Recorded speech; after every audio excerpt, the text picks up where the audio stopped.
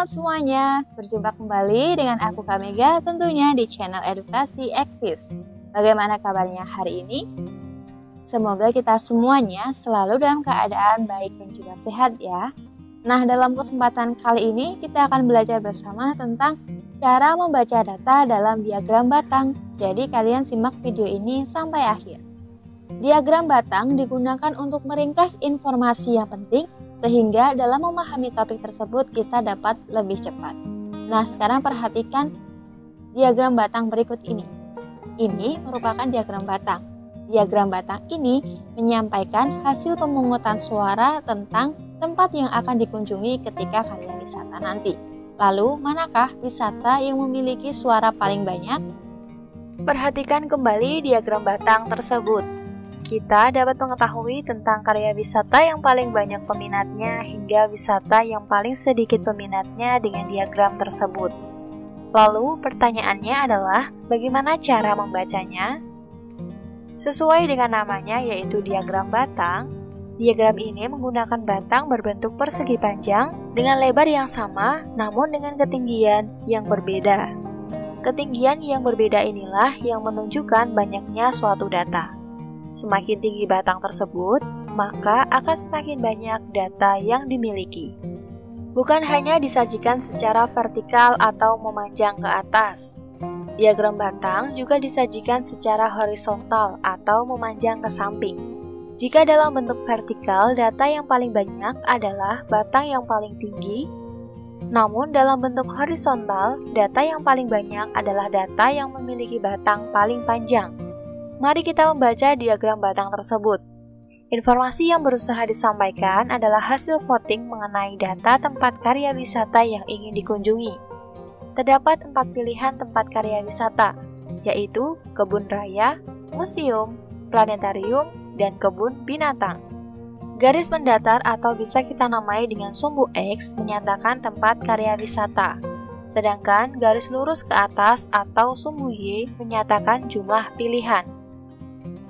Yang pertama, batang yang tertulis kebun raya mendapat hasil sebanyak 9. Artinya banyak siswa yang memilih karya wisata ke kebun raya ada 9 siswa. Yang kedua, batang yang tertulis museum mendapat hasil sebanyak 10 siswa. Artinya, banyak siswa yang memilih karya wisata ke museum ada 10 siswa. Yang ketiga, Batang yang tertulis planetarium mendapat hasil sebanyak 4 siswa. Artinya, banyak siswa yang memilih karya wisata ke planetarium ada 4 siswa. Yang keempat, batang yang tertulis kebun binatang mendapat hasil sebanyak 7 siswa. Artinya, banyak siswa yang memilih karya wisata ke kebun binatang ada 7 siswa. Data tersebut juga bisa disajikan dengan diagram batang horizontal atau menyamping. Apakah datanya sama? Tentunya sama dong, namun dengan tampilan yang sedikit berbeda. Mari kita coba ubah diagram batang tersebut ke dalam bentuk horizontal. Jika pada diagram batang vertikal, garis bawahnya bertuliskan tempat karya wisata, sekarang berkebalikan. Garis mendatar atau sumbu X menyatakan banyak siswa. Sedangkan garis lurus ke atas atau sumbu Y menyatakan tempat karya wisata, sehingga hasilnya sebagai berikut. Yang pertama, batang yang tertulis kebun raya mendapatkan hasil sebanyak 9. Artinya banyak siswa yang memilih karya wisata ke kebun raya ada 9 siswa. Yang kedua, batang yang tertulis museum mendapat hasil sebanyak 10 siswa.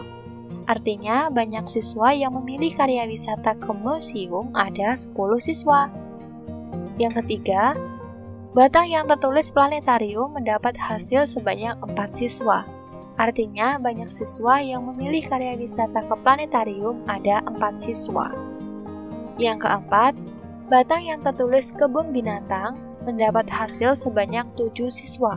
Artinya, banyak siswa yang memilih karya wisata ke kebun binatang ada 7 siswa.